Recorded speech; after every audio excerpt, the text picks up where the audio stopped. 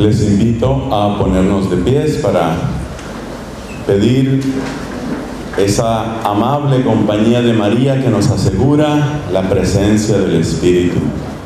Lo mismo que ella hizo en Pentecostés, lo sigue haciendo también en nuestra época. Ella asegura la efusión del Espíritu sobre los hijos de Dios. Con mucho amor digamos, Dios te salve María, llena eres de gracia, el Señor es contigo, bendita tú eres entre todas las mujeres y bendito es el fruto de tu vientre Jesús. Santa María, Madre de Dios, ruega por nosotros pecadores, ahora y en la hora de nuestra muerte. Amén. En el nombre del Padre y del Hijo y del Espíritu Santo. Amén. Gracias por estar aquí. Sé que ha sido una jornada intensa, pero muy bien vivida. Por favor, tomen asiento.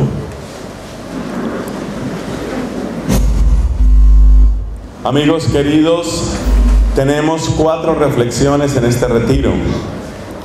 La primera se llama oscuridad,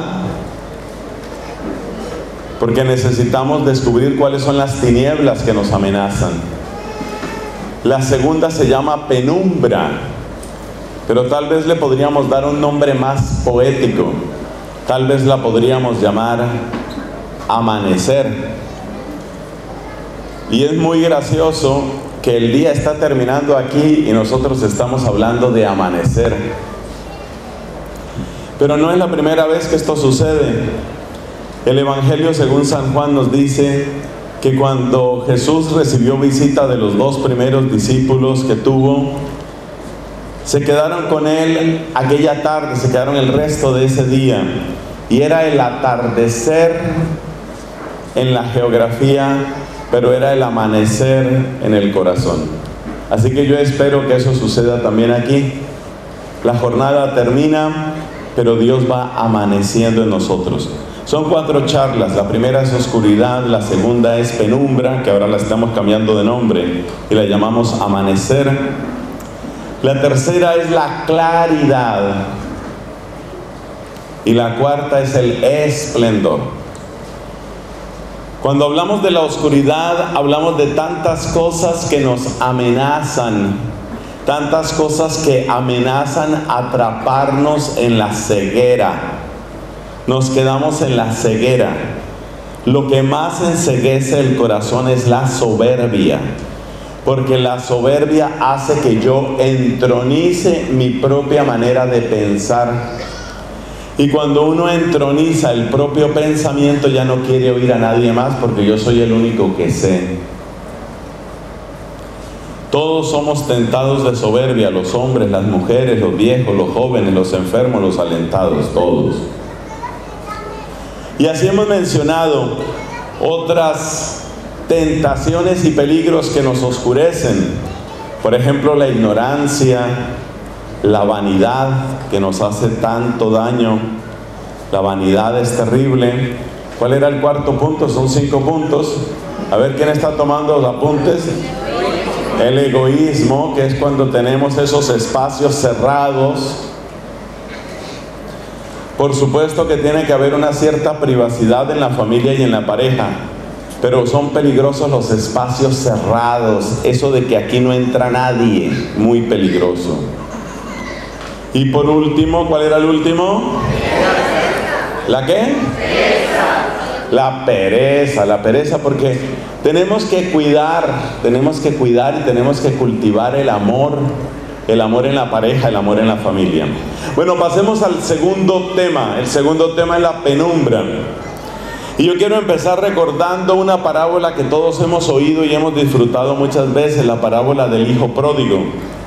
Esa parábola se encuentra en el capítulo 15 del Evangelio según San Juan. La historia ustedes la conocen muy bien.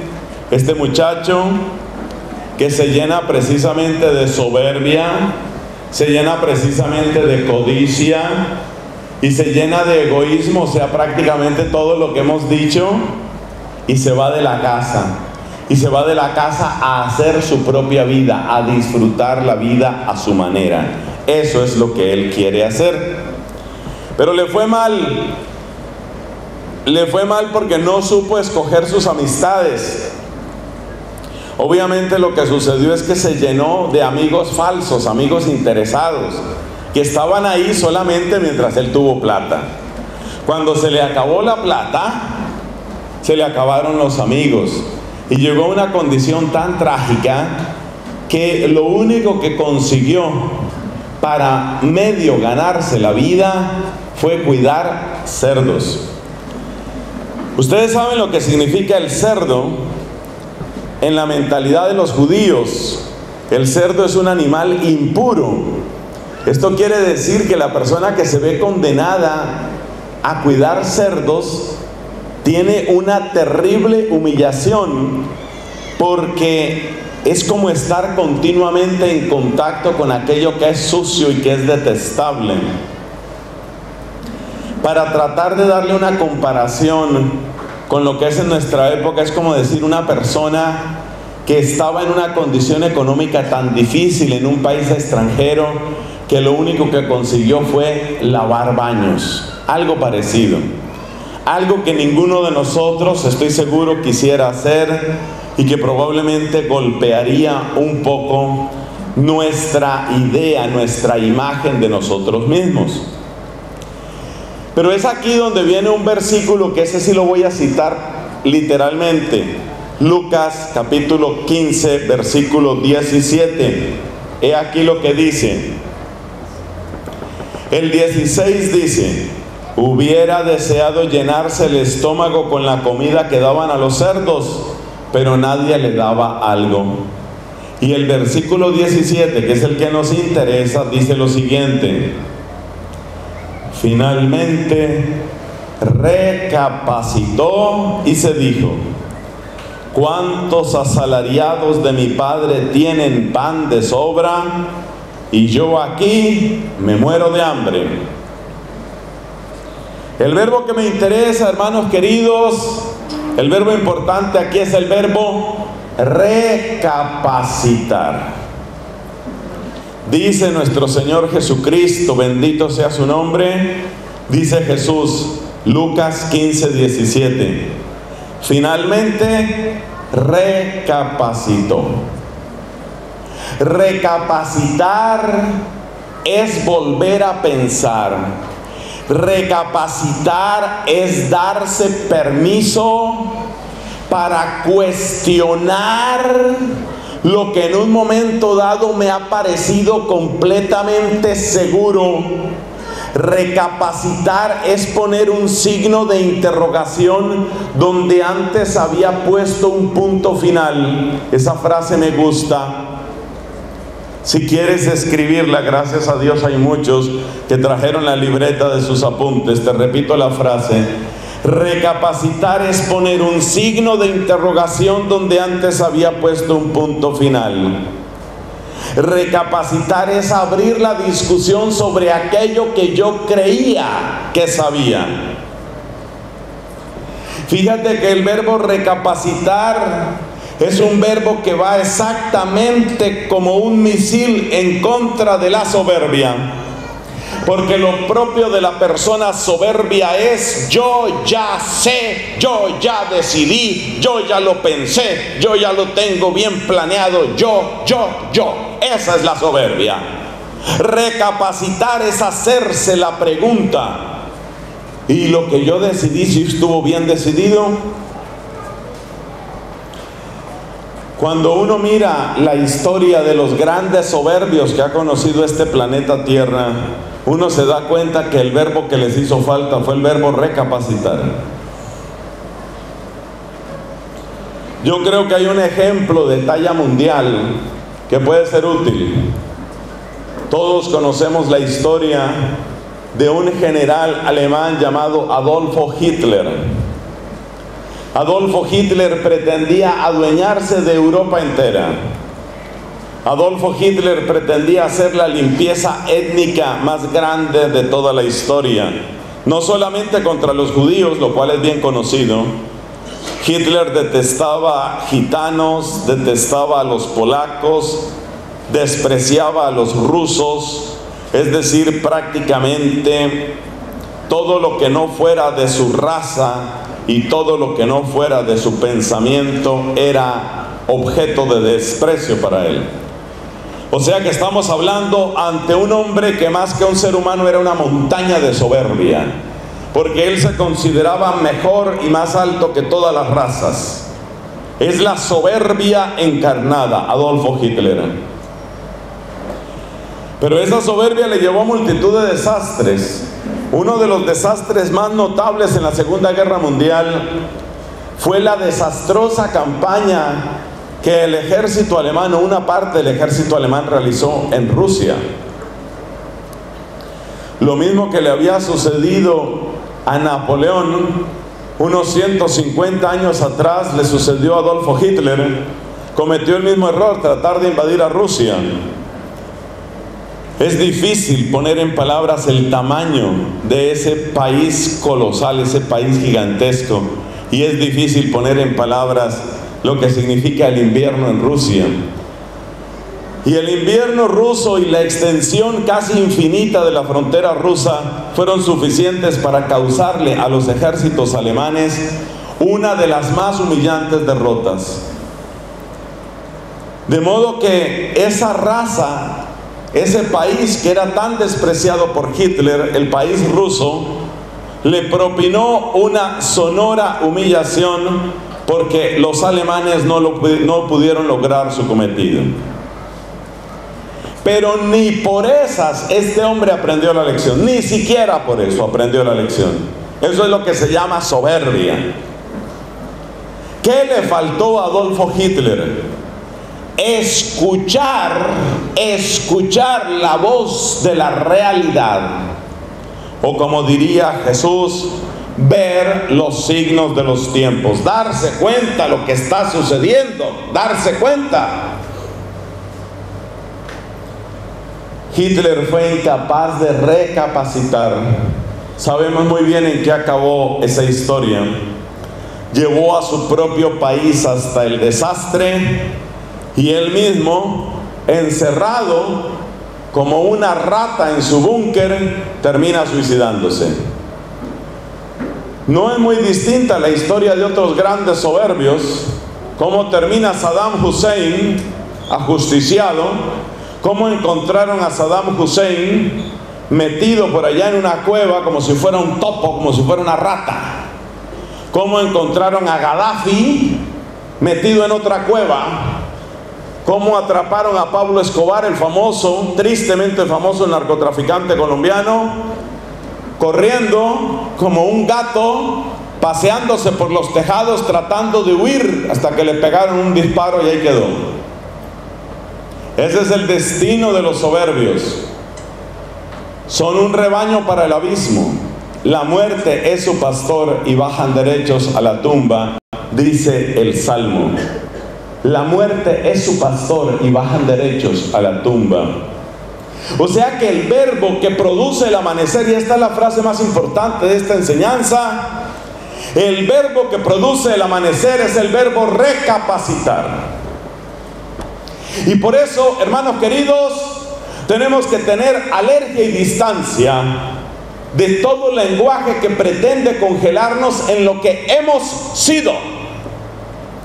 Por ejemplo, yo soy así, esa manera de hablar, yo soy así, no digas eso.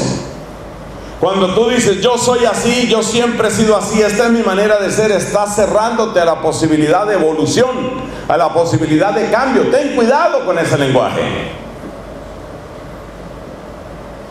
Muchas cosas de las que tú consideras que son tuyas, cosas que tú consideras que ya no van a cambiar en tu vida, son cosas que no solo pueden, sino que deben cambiar. Yo te digo en el nombre del Señor, cosas que parecen muy tuyas pueden salir de tu vida. Tal vez tú no concibes la vida sin el resentimiento que tienes contra tal o cual persona.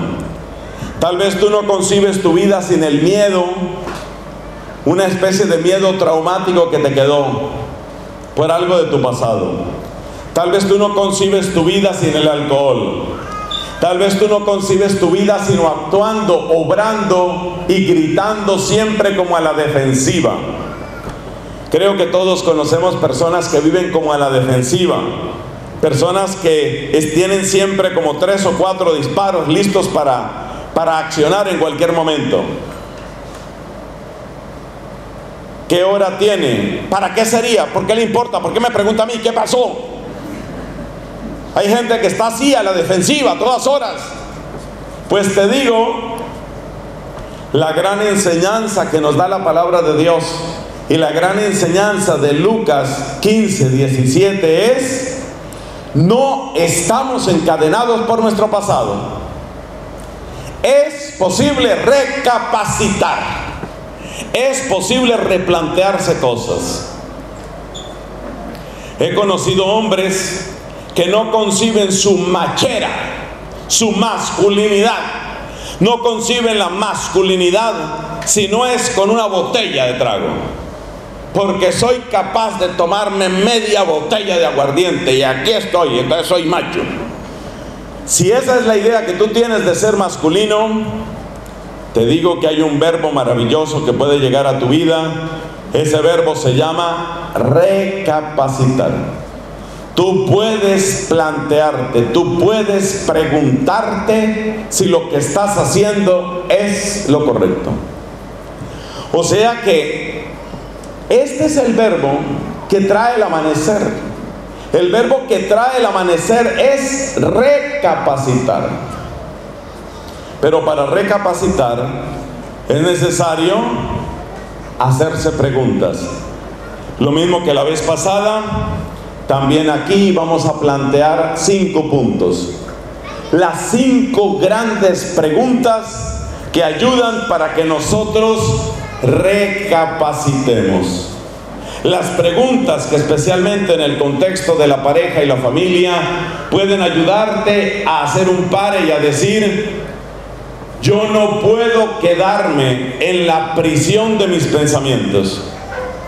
Porque déjame decirte que la primera y más terrible prisión no son los barrotes de hierro o de acero. La primera prisión es la prisión de los pensamientos.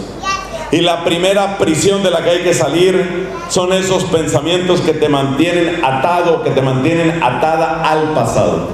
Hay que saber romper los pensamientos. Y los pensamientos se rompen con cuestionamientos, se rompen con preguntas. Cuando aprendemos a preguntar, cuando aprendemos a cuestionar, entonces empezamos a recapacitar y el verbo recapacitar es el que trae el amanecer en nuestra vida. ¿Cuáles son esas preguntas? Hay cinco sobre todo que considero que tienen una gran influencia, una positiva influencia para llevarnos a recapacitar. La primera pregunta, ¿cuáles son mis frutos? Vamos a enunciarla de varias maneras. Por ejemplo, ¿qué estoy consiguiendo con lo que estoy haciendo? Otra manera de hacer esa misma pregunta, ¿a dónde voy por este camino? Muchas veces la gente se hace esa pregunta por un problema de salud. Un amigo mío era un profesional exitoso, era gerente de una empresa pequeña pero en rápido proceso de crecimiento. Y ustedes saben lo que sucede cuando una empresa está creciendo, que hay muchísimo trabajo, pero es un trabajo que resulta atractivo un trabajo que resulta adictivo, podríamos decir. Porque es la sensación de que si me esfuerzo más, voy a crecer más y si crezco más, puedo crecer todavía más. Bueno, el hecho es que este amigo mío, gerente de esa empresa, estaba al frente del barco y cada vez parece que las cosas iban mejor mejor y mejor. Los resultados trimestrales Los balances cada vez eran más esperanzadores. Los nuevos mercados, los nuevos clientes, los nuevos productos. Ahora vamos a lanzar esta línea, ahora vamos a contratar tantas personas, ahora vamos a gustar, ahora vamos a internacionalizarnos, ahora vamos, siempre había algo más que hacer. Y este era el capitán del barco y él estaba cada vez más metido en eso. Y como se sentía exitoso, como se sentía feliz, él no se daba cuenta de tres cosas muy peligrosas. Primera, estaba descuidando gravísimamente a su esposa y a sus hijos. No se daba cuenta de eso.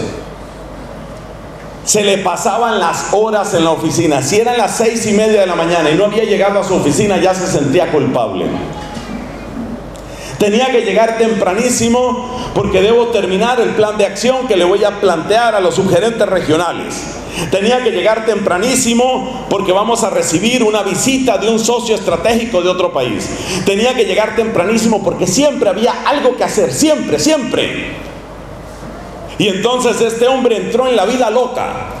Seis y media de la mañana en la oficina, a veces se le olvida almorzar. Cuatro de la tarde, un pequeño descanso, un café y dale derecho, derechos. Nueve de la noche, diez de la noche y al otro día el mismo régimen. Había días de 12 horas de trabajo, días de 15 horas de trabajo. Pero él no sentía el trabajo porque se sentía capitán de un barco exitoso. No se daba cuenta, número uno, que estaba descuidando a la familia. Número dos, no se daba cuenta de que el cuerpo no aguanta ese ritmo. Y número tres, no se daba cuenta que jamás tenía un momento de silencio para recapacitar. Yo me acuerdo de mi amigo en esa época, de eso que tú lo llamas por teléfono y tienes la sensación de que el hombre no logra deshacerse rápidamente de ti. ¿Cómo estás? Bien, bien, un poco, un poco congestionado, hay muchas cosas, pero, pero bien, bien, padre, bien, muy bien. Bien, eso significa cállese, padre, váyase, váyase, que tengo mucho que hacer. Eso es lo que significa. Y así estaba este hombre y así duró unas cuantas semanas y unos cuantos meses. Un día, 8 de la mañana en la oficina, le empieza un dolor en el pecho, el típico dolor en el pecho con reflejo en el brazo izquierdo.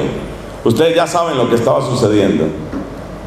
Corra a la clínica de inmediato usted está empezando un infarto. Dele gracias a Dios, porque la distancia entre la oficina y la clínica usted la alcanzó a cubrir.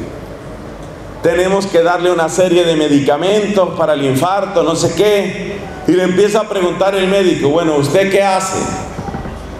Y él cuenta, bueno, soy gerente, por ahí tengo una empresita, una empresita, ¿no? tengo una empresita, ah, bueno, una empresa, ¿y qué estás haciendo? ¿Y cómo es tu vida? ¿Y cómo te alimentas? ¿Y cómo duermes? ¿Y qué descanso tienes? ¿Y qué vacaciones tienes? Ahí le dice el médico, usted tiene un buen seguro de vida, ¿no? ¿Por qué me pregunta eso?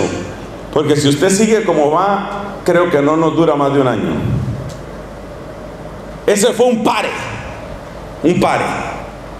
Y el hombre se ve obligado a preguntarse, ¿qué estoy haciendo?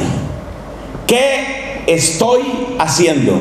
¿Para dónde voy? ¿Cómo voy? Esa es la pregunta por los frutos.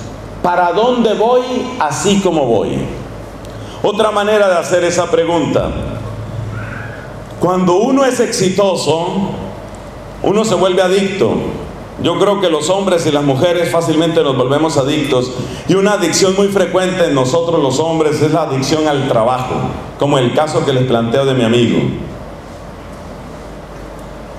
Pero hay que hacerse también esta otra pregunta, no lo que estoy ganando, sino por ejemplo esta otra, ¿de qué me estoy perdiendo? Es otra manera de hacer la misma pregunta, la pregunta por los frutos. ¿De qué me estoy perdiendo? Yo he contado en otras oportunidades una historia que es verídica. Otro amigo, gran trabajador, una máquina de trabajo, un tipo impresionante, una locomotora. Y entonces le pregunto por los hijos y me dice, bueno, el mayor está como así. Él tenía que extender las manos horizontalmente. Por supuesto me llamó la atención porque todo el mundo cuando va a hablar de los hijos señala la altura sobre el piso. Pero este tipo daba la estatura de los hijos horizontalmente. Y ya sabes por qué, ¿no?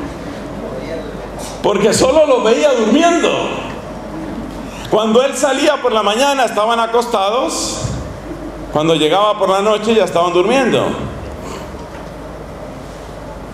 O sea que para él la estatura de los hijos era un dato horizontal. ¿De qué me estoy perdiendo? Yo pienso, por ejemplo, en este hermoso encuentro que ha organizado Milagro de Caná y que ha organizado Defensores de la Fe. Yo pienso en este hermoso encuentro, quizás algunos de ustedes, padres de familia, están teniendo una oportunidad bellísima, porque esto es como un retiro familiar. Y ese reencuentro con los hijos fácilmente puede llevar a que te preguntes, oye, ¿yo de qué me he estado perdiendo? Eso lleva a recapacitar. Estamos solo en la primera pregunta. La primera pregunta es, ¿cuáles son los frutos? Es decir, ¿cuáles son las consecuencias? Es decir, ¿hacia dónde voy así como voy?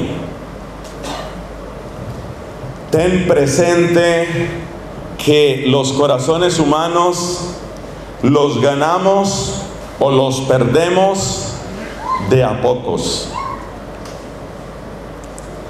Tú no puedes llegar a tu casa después de tres meses de viajes de negocios y pretender que con una tarde o pretender que repartiendo regalos o pretender que dando plata vas a sobornar el corazón de tus hijos o de tus hijas. No puedes pretender eso. Porque una de las cosas que muchos papás y muchas mamás súper ocupados intentan hacer se llama soborno. Ustedes conocen esos papás que durante el año nunca tienen tiempo para el hijo, pero llega Navidad y es a darle los regalos más costosos, como una especie de compensación. Todo el amor que no te di, te lo doy en la última tablet, en el último smartphone. Todo el amor que no te di, te lo pretendo dar en el último equipo de sonido, el último Ultra High Definition TV set. Todo el amor que no te di, te lo voy a dar en un paseo carísimo. No se puede comprar el corazón de una hija con un paseo. No se puede comprar el corazón de un hijo con un gadget, con un juguete tecnológico, con la computadora de última generación. Lo que más vale de ti es tu tiempo. Lo que más vale de ti es tu tiempo. A ver en qué otro tono lo digo. Lo que más vale de ti es tu tiempo. Tu tiempo, tu tiempo es lo más valioso de ti. Lo más valioso de ti no es tu dinero. No es. Lo más valioso de ti es tu tiempo. Y no se puede sobornar ni a la esposa, ni al esposo, ni a los hijos. Entonces hay una pregunta que ayuda a recapacitar. ¿A dónde voy? ¿A dónde estoy yendo si sigo como voy? Segunda pregunta. La segunda pregunta vale especialmente para los que ya tienen los hijos un poquito más crecidos. Y es una pregunta, yo diría, casi cruel. Pero esta pregunta me la enseñó mi papá cuando nosotros éramos niños. Teniendo en cuenta que estoy próximo a llegar a los 50 años de vida extrauterina, ya ustedes se pueden imaginar hace cuántos años escuché este dicho de mi papá. ¿Cuál dicho? Decía mi papá, cuando yo vea cómo crían ustedes a sus hijos, voy a saber si yo fui un buen papá. Tomar nota, escribir. Es frase de mi papá, todavía vive mi padre, tiene 83 años. Cuando, cuando yo vea cómo crían ustedes a sus hijos, sabré si yo he sido un buen papá. La primera pregunta era cuáles son los frutos. La segunda pregunta es lo que podríamos llamar la herencia real. Porque los frutos son algo así como la herencia teórica. Pero la herencia real de un papá es qué le quedó realmente a mis hijos. ¿Y eso cómo se sabe? Se sabe en las decisiones que ellos toman. Una decisión importantísima es qué esposo o esposa escogen y cómo educan a sus propios hijos. Pero realmente no hay que esperar a que los hijos tengan hijos, no hay que esperar a ser abuelitos para aplicar este test. Esta segunda pregunta, son cinco preguntas. Acuérdese que cada charla tiene cinco puntos. No hay que esperar a que los hijos tengan hijos, no hay que esperar a ser abuelitos, aunque ya hay varios aquí que yo creo que son abuelitos. No sé por qué les da risa. A ver, levanten la mano los que son abuelitos. ¿Dónde están los abuelitos? Los abuelitos. Hay varios abuelitos. Hay unos que no sé si son o no son porque levantaron el codo. No sé qué significa ese gesto, como, como que sí, como que no, como que me da pena. No, hermosísimo. Acuérdese que los abuelos son supremamente valiosos porque tienen cabellos de plata y dientes de oro. Entonces, no tienes que esperar a que tus hijos tengan hijos. No. Empieza a ver ¿Cómo deciden tus hijos? Por ejemplo, ya a partir de los 7, 8 años y un poquito más tal vez, ya tú puedes ver cómo eligen ellos a sus amigos. Ya en esas edades, en la adolescencia, ya tú puedes ver cómo eligen ellos sus lecturas que leen, si leen, porque hay gente que no lee. Ya tú puedes ver cuando son jovencitos, si por propio impulso buscan acercarse a Dios. Ya tú puedes ver en esas edades, ya te puedes dar cuenta, seguramente ya están buscando parejita, lo que aquí llaman su cortejo, su corteja, cómo lo escogen, qué valores tienen, con qué criterios deciden. Eso hay que verlo. Y en esos hijos tuyos, o mejor, en las decisiones que toman tus hijos, tú tienes que ver qué clase de herencia real les dejaste. La herencia real no es el dinero, porque dejarle una montaña de dinero a un burro no sirve. La herencia real es la mente y el corazón que ellos tengan, las convicciones, los principios, la fuerza vital. Es eso lo que importa y esa es la verdadera herencia. Y esa es la pregunta que tú has de hacerte.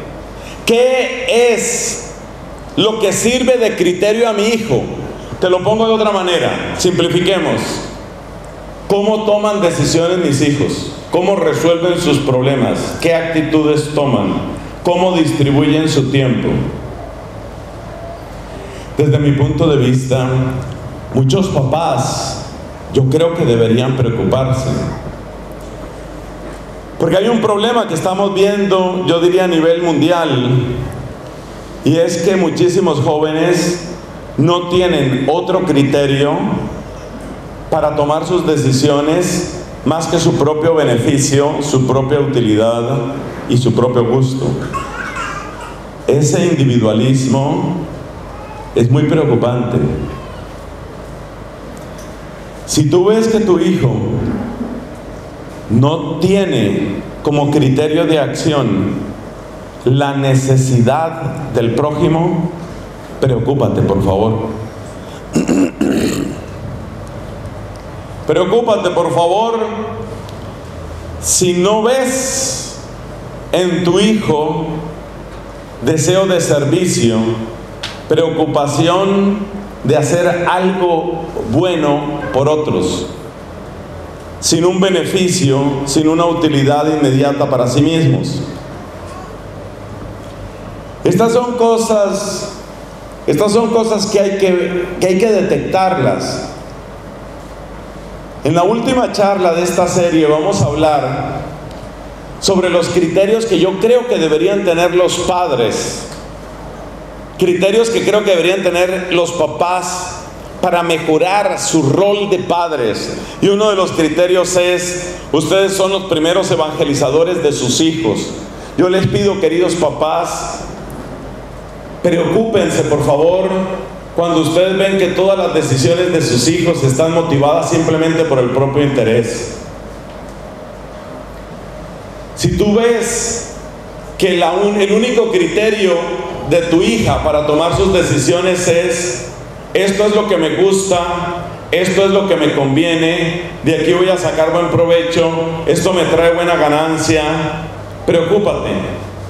Quizás tu hija tiene muy buena salud, Quizás tiene mucha belleza, quizás tiene muy buen cuerpo, pero por favor, preocúpate, por favor, preocúpate. ¿Por qué? Porque si tu hija es una persona que solamente decide con esos criterios de lo que a mí me gusta, lo que a mí me conviene, lo que me da ganancia, esa hija está pésimamente preparada para entrar en una relación de matrimonio. Si tu hijo tiene como único criterio lo que a mí me hace feliz, lo que a mí me gusta, lo que a mí me parece, lo que me trae ganancia, si tú ves en síntesis que tu hijo está centrado, sobrecentrado en sí mismo, si tú ves que tu hija está sobrecentrada en sí misma, ten cuidado, esa es la herencia que ellos están sacando de ti. ¿Y por qué debería preocuparte? Debería preocuparte porque una hija marcada por el egoísmo, un hijo marcado por el individualismo, está pésimamente preparado para hacer pareja. Y un hijo marcado por el individualismo, una hija marcada por el egoísmo y que está pésimamente preparada para ser pareja, quiere decir que está excelentemente preparada para un desastre que se llama divorcio, separación, conflicto emocional, soledad, trauma, adicción y todo lo que sigue de ahí en adelante.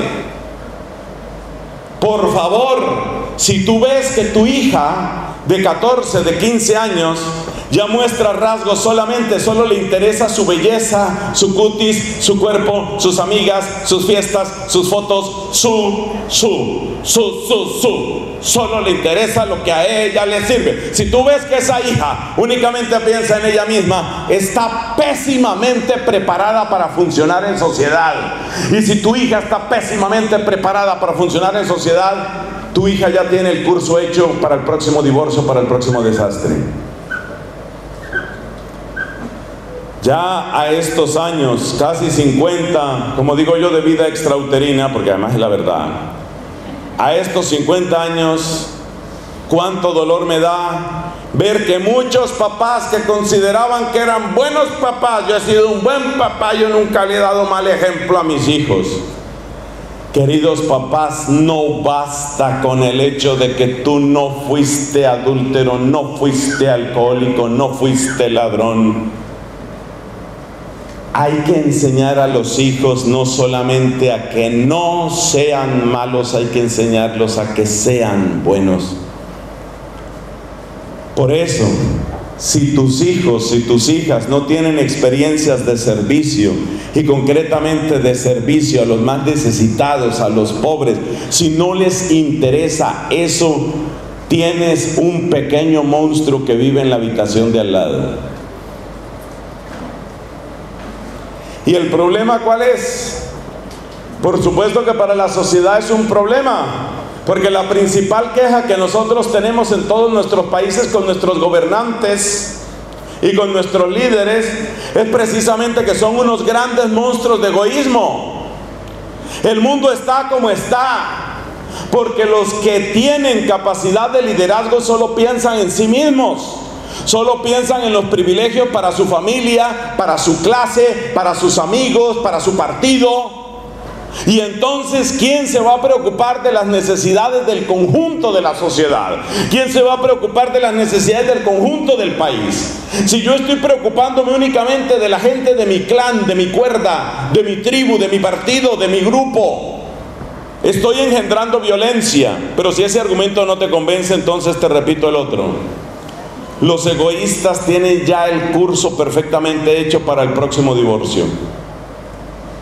Muchos papás yo creo que se escandalizarían si descubrieran que el curso para divorcio, el curso para desastre matrimonial, ellos se lo dieron a los hijos. Muchos papás, supuestamente con buenas intenciones, enseñaron a los hijos únicamente las lecciones de la rapacidad la lección del usted no se deje de nadie, la lección de impóngase como sea, la lección de sálgase con la suya, la lección de logre sus metas como sea. Y no nos damos cuenta que al hablar de esa manera y al predicar ese falso evangelio, estamos creando monstruos. Y esos monstruos no subsisten en la vida matrimonial. Yo te hago una pregunta. Tú quieres que tu hija tenga un hogar feliz, además de que sea una buena profesional, además de que sea una persona de éxito, además de que sea líder seguramente en su propio campo de trabajo. Yo te hago una pregunta, ¿tú la quieres feliz? Todo papá me va a decir, por supuesto, padre, yo quiero que mi hija sea feliz.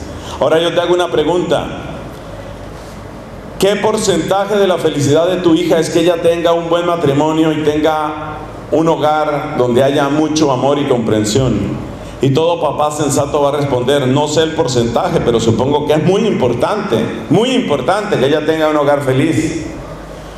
¿Cuánto tiempo, cuántas conversaciones has tenido con tu hija sobre el éxito profesional, sobre la necesidad de que haga posgrados, MBAs y haga especializaciones en el exterior? ¿Cuánta, ¿Cuánto tiempo has hablado con ella sobre temas de economía, desarrollo profesional, crecimiento en la motivación, éxito? He hablado mucho de eso con mi hija porque yo quiero que mi hija sea exitosa.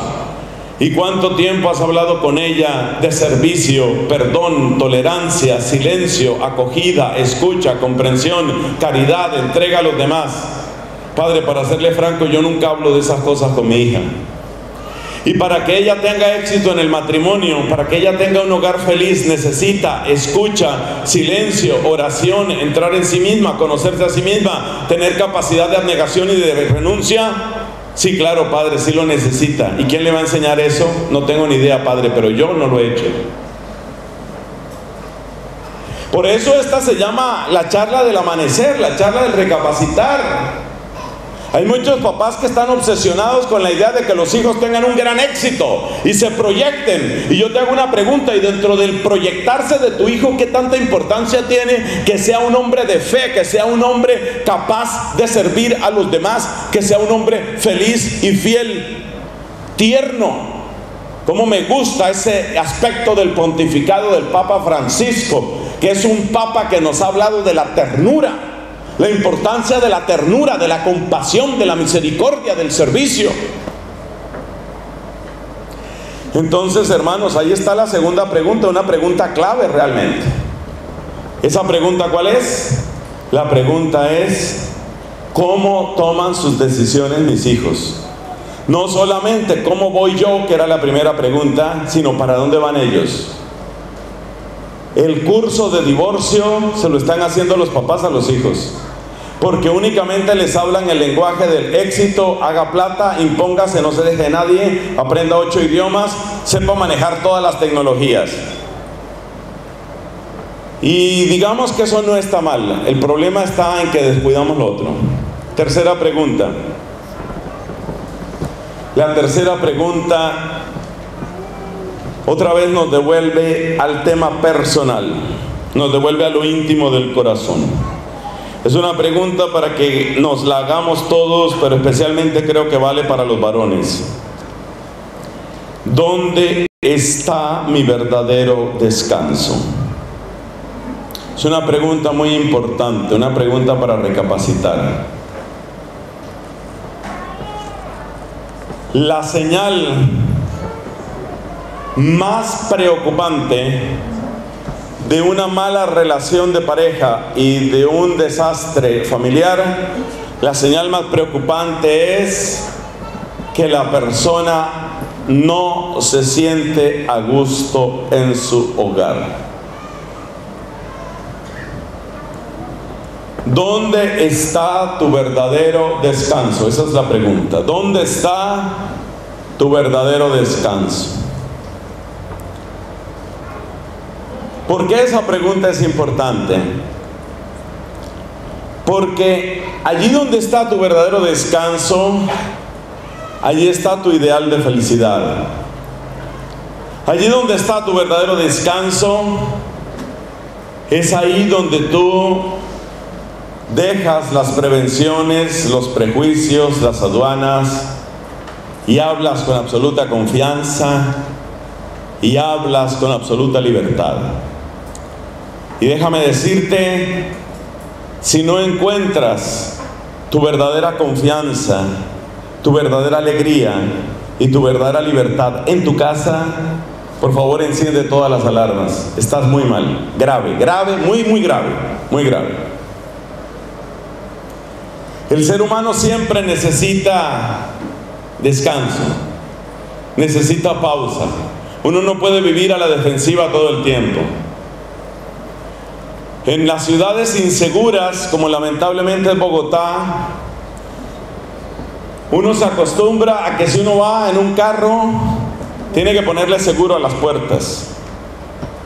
Tiene que tener los vidrios bastante altos o completamente cerrados. No va a que alguien meta la mano, por ejemplo, para robarme el celular en un semáforo. Muchas personas le ponen un sellante de seguridad a los vidrios porque también se han dado casos de romper el vidrio para robar.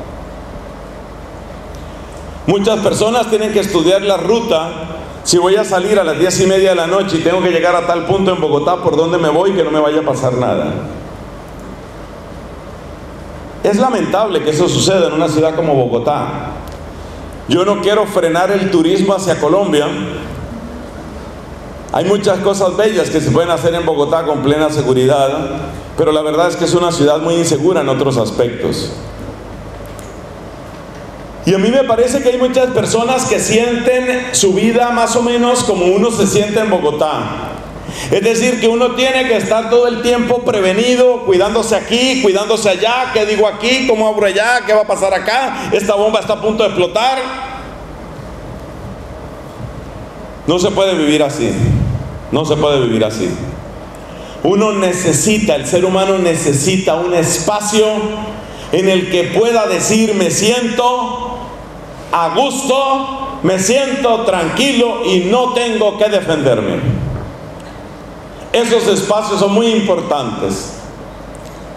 Y ese es el espacio que según la Biblia ha de encontrar especialmente la pareja. O sea que ser pareja significa convertirte en el descanso preferido de tu mujer, en el descanso preferido de tu hombre.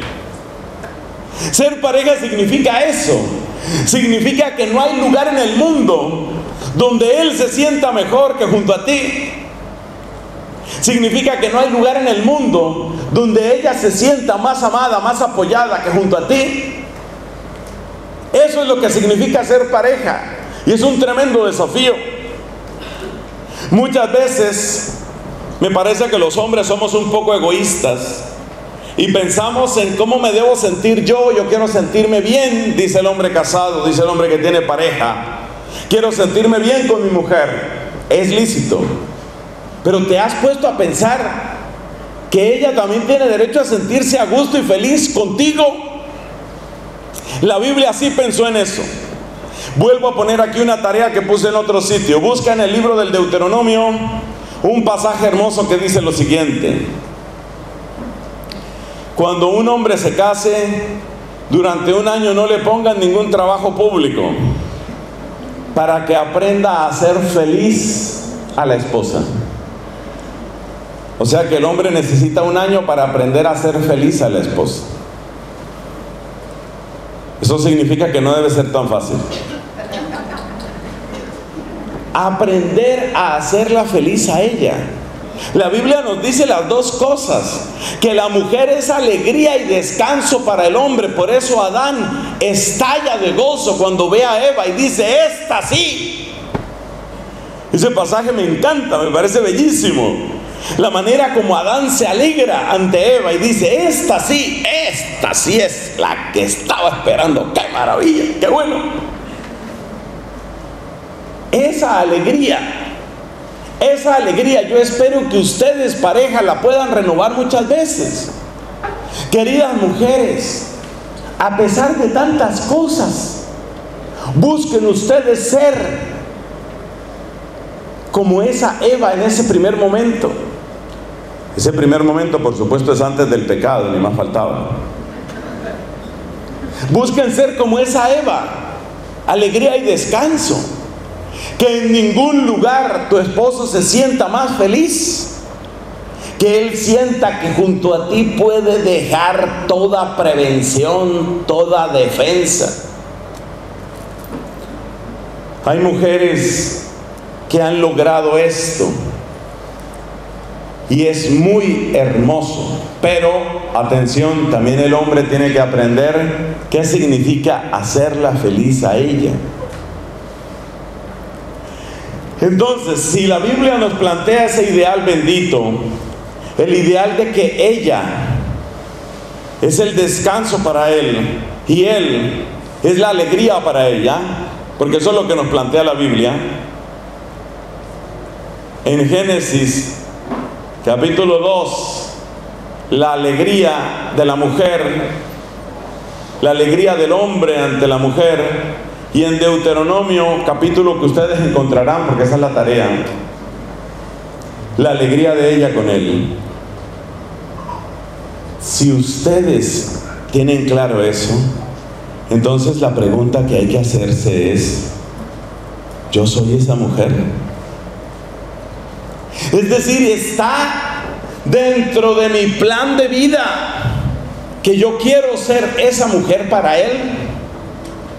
Y el hombre tiene que preguntarse, ¿esta mujer se siente feliz, orgullosa, apoyada, amada a mi lado? Eso tiene que preguntárselo. Ese es el recapacitar. El recapacitar, estamos en la tercera pregunta, el recapacitar es hacerse esa pregunta. Soy fuente de alegría y descanso para mi pareja.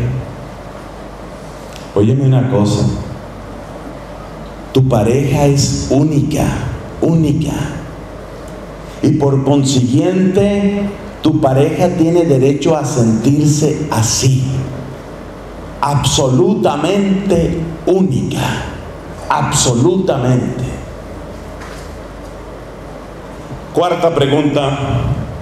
Vamos avanzando, vamos llegando poco a poco al final de esta reflexión, que es la reflexión del amanecer, la penumbra, las preguntas, las preguntas que lo ponen a uno en movimiento. Cuarta pregunta. ¿Cuál será mi vejez? Una pregunta que no es tan amable, pero que hay que hacerla. Hay una ley de la vida y es que la vejez hay que prepararla en la juventud. No se puede llegar a viejo para preparar la vejez, ¿no? No funciona.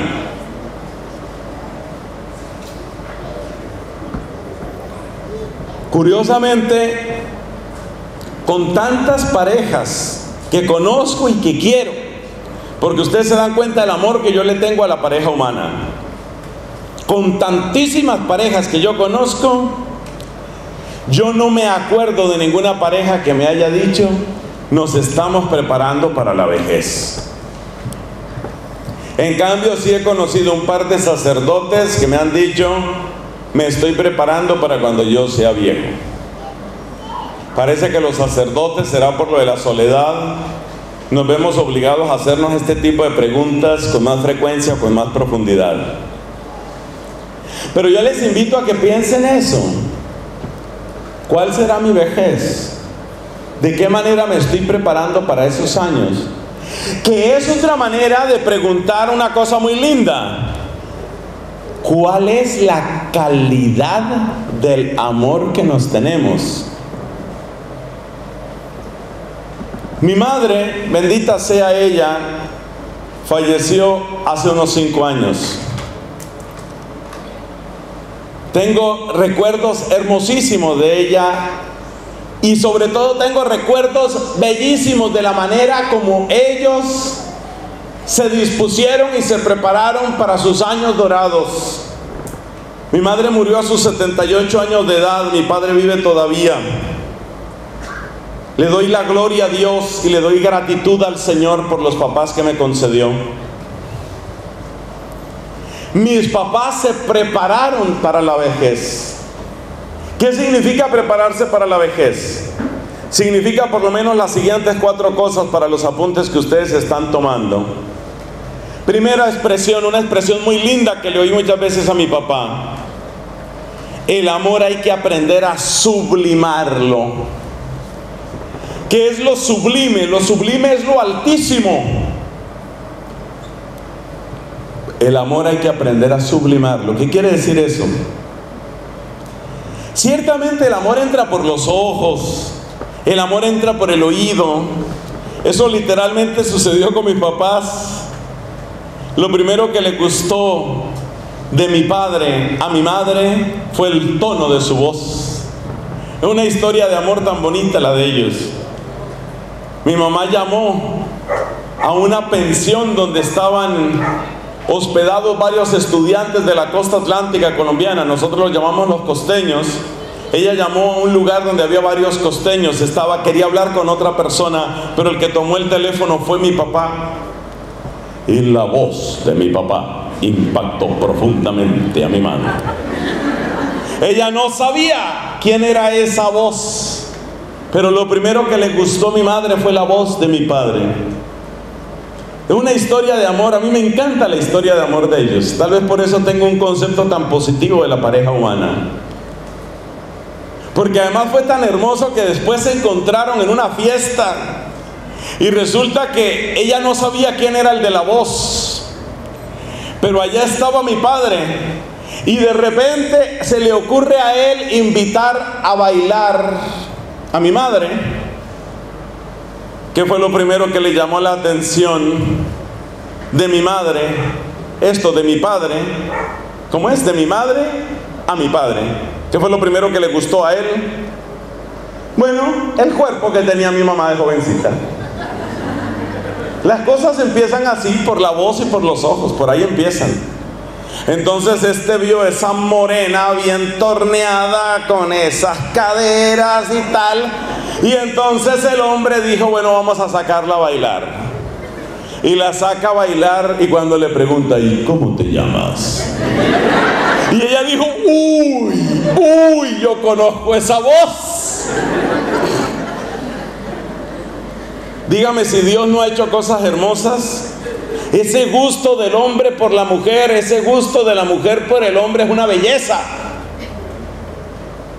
Pero ella no le dijo nada, que él era el de la voz.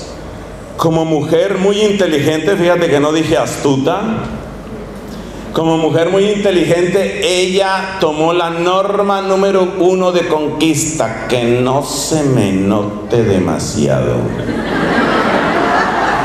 No se puede notar demasiado. Entonces ella tal, tal, una pieza, otra pieza, el baile por aquí, el baile por allá. Sobre todo que los bailes de la época eran mucho mejores que los bailes de ahora. Porque los bailes de ahora más parecen aeróbicos. En cambio, los bailes de esa época era con manito a la cintura, tal, con el perfume, ¿no? Con el aroma, con la voz estratégicamente situada. Y mañana, ¿a qué hora sales? Entonces, así empieza el amor. Y es normal que empiece así. Es normal que empiece así, que empiece por un perfume, por una hebra de cabello, que empiece por una voz o por unas caderas, es normal. Pero planear la vejez significa en primer lugar saber que ese fue solo el comienzo, pero que hay que aprender a amar en otras dimensiones mucho más altas, amar el ser. Amar que ella existe, amar que ella ha sido amada de Dios, amar los valores permanentes que ella tiene o que él tiene. Eso es amar. Entonces la primera clave para prepararse para la vejez es, hay que sublimar el amor. Segunda clave para preparar la vejez, también la aprendí de mis padres, los hijos son prestados. Bueno, es una manera de decir, ¿no? Una manera de decir, indica qué? Que indica que los hijos un día tendrán que seguir su propio camino. De manera que después de un tiempo cada hijo va tomando su ruta. En mi casa el primero que tomó ruta fui yo. Soy el número 3 de 4.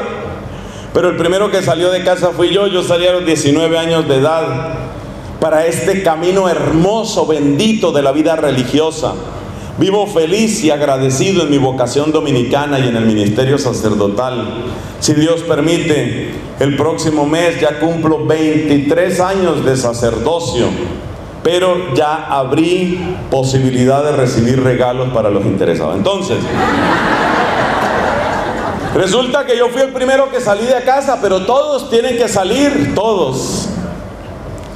La conciencia de que los hijos son prestados es la conciencia de que ellos hay que prepararlos para que hagan su camino el de ellos. Y por consiguiente hay que prepararse para estar sin ellos. Cosa bendita de mi madre, Dios la tenga en su seno. Mire, ella tuvo solo hijos, o sea que por consiguiente solo tenía nueras y yo. Entonces, oiga, mi mamá, como suegra, lo mejor que se ha conocido en mucho tiempo. ¿Por qué? Porque ella tenía conciencia de que los hijos son prestados. Y por consiguiente ya no estaba entrometiéndose allá en el hogar del hijo de, a ver, usted haga esto, cambie esto. No, no, no. Ellos tienen su hogar. Si me invitan, si puedo aportar, si puedo ayudar, con mucho gusto. Pero el hogar de los hijos es el hogar de los hijos. No más. Los hijos son prestados. Esto es importante para envejecer. Tercero, tercera clave para saber envejecer. Es importante recordar, mis hermanos, que la vida no se agota en el círculo familiar. ¿Eso qué quiere decir? Eso quiere decir que además de educar a unos hijos, tú tienes otros deberes también. Por ejemplo, tu comunidad, tu grupo de oración, tu parroquia, tu evangelización, eso también es tarea tuya. Yo les recomiendo vivamente, queridos amigos, vivan a plenitud y con alegría su vocación de papás, de mamás y de esposos, pero tengan en cuenta, que su ser de cristianos no se agota solamente en ser papá, mamá y esposo o esposa. No. Qué hermoso es para los hijos ver que los papás tienen un compromiso real de su fe, sin descuidar el hogar, por supuesto. Yo he visto esto. Cuando los papás, cuando las mamás, además de su amor de familia, tienen una conexión con la vida de fe, por ejemplo, de la parroquia, de la comunidad, del grupo de oración, cuando llega después el momento en el que los hijos se van, los papás miran esa partida de los hijos, no como el último desastre, sino como un llamado que el Señor les hace para servir más.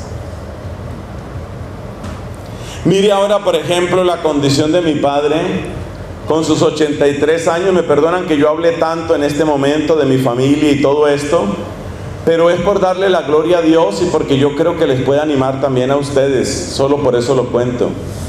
Mire mi papá, 83 años tiene, no se pierde una reunión de su grupo de oración y moverse en Bogotá ya dijimos que no es tan fácil. El hombre no se pierde en la reunión del grupo de oración. Él asiste a un grupo de oración que por cierto se reúne junto a mi convento. Yo cuando puedo voy allá también. Un grupo de oración que se llama Familia Espiritual. Viera usted mi papá comprometido en su grupo de oración, haciendo las tareas, haciendo los estudios bíblicos, ayudándole a otros. La manera de preparar la vejez es entender que la pareja no es una isla para dos. Entender que la familia no es un núcleo cerrado y sellado. La familia tiene por supuesto que tener prelación en tu vida, pero tú tienes que abrirte a servir más allá de tu familia. Eso es aprender a envejecer. ¿Cuántos puntos llevamos? Eso, me gusta la gente que está atenta. Los otros que están distraídos, yo los perdono. Último punto en la vejez. Preparar la vejez. Hay que preparar la eternidad. Hablemoslo abiertamente. No vamos a estar para siempre en esta tierra. La apuesta por la santidad y la apuesta por una vida feliz en Dios es tan válida para ti que eres casado como para mí que soy célibe. Tenemos que preparar la eternidad. No fuimos hechos para la tierra, fuimos hechos para el cielo, para la gloria del cielo. Entonces esas son las claves que les puedo compartir para la vejez. Y la pregunta que le hace recapacitar a uno es la pregunta, ¿cuál será mi vejez? La última pregunta, llegamos a la quinta y última pregunta de esta serie, se enuncia de esta manera. ¿Qué impacto tiene la fe en mis decisiones, horarios y presupuestos? Por favor, escriban las tres palabras. ¿Qué impacto tiene la fe en mis decisiones, en mis horarios y en mis presupuestos? Presupuesto significa platica. Horario significa algo que es más valioso que la plata, tu tiempo. Y decisiones significa algo que es más importante que tu horario, tu propia vida, el rumbo que le vas a dar a tu vida. Entonces las cinco preguntas para recapacitar son cuáles son los frutos que estoy produciendo, qué decisiones veo que están tomando mis hijos, en dónde está mi verdadero descanso y soy descanso para mi pareja y para mis hijos. Cuarta pregunta, ¿cuál será mi vejez?